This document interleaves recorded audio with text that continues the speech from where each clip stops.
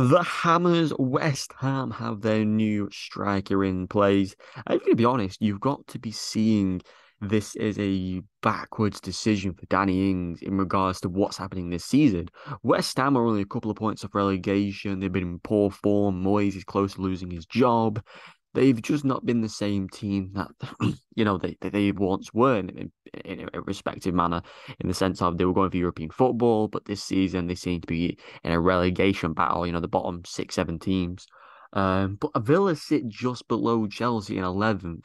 Who Ings was playing, you know, here and there. He was scoring when he came on the pitch. He was a very impactful player. Um, when he came on the field. But ultimately, I think his move to West Ham probably has a better future in theory because West Ham it, in many ways are obviously better than Villa, but they're just going through a bad period. They're not making many signings, and obviously this is a sign of them going in the right direction. But for me, Ings is making a bit of a mess of his career. You know, going from Southampton, um, to obviously Villa, where he's not played every single game, but he's had impactful moments that have got them steadily in the league. And of course, now he's gone to West Ham, who are fighting the relegation battle.